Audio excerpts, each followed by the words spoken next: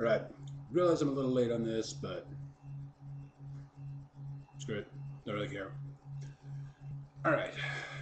So, uh, two rednecks are driving out in the middle of the country, you know, just kind of checking out, you know, uh, some of the countryside there, when their car breaks down outside of a farmer's house. Um, you know, they stop, ask for some help. Of course, you know how it goes.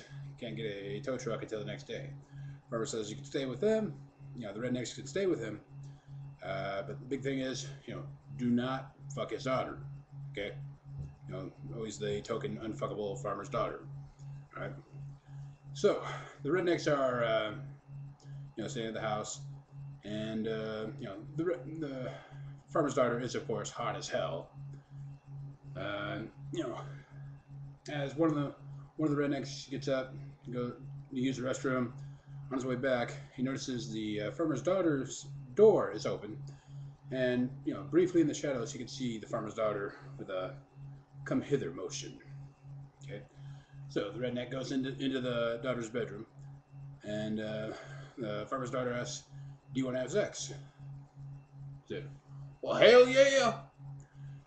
So the farmer's daughter says, "Okay, but you need to you need to wear a condom, okay?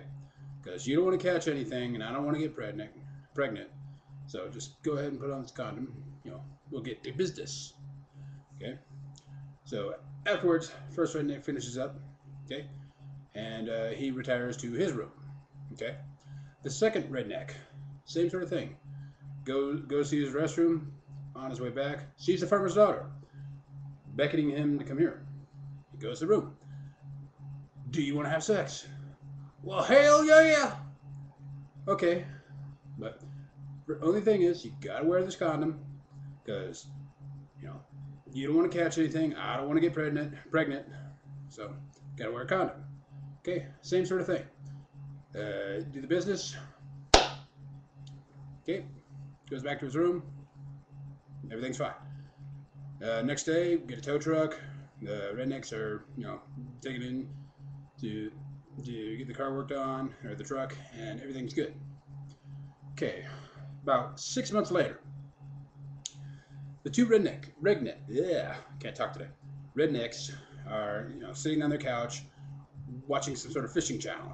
Okay, one of them kind of leans over to the other one and um, asks, "Hey, you remember that that that farmer farmer's daughter? Yeah. Do you really care if she gets preg- pregnant? Not really. Well, let's take these damn things off.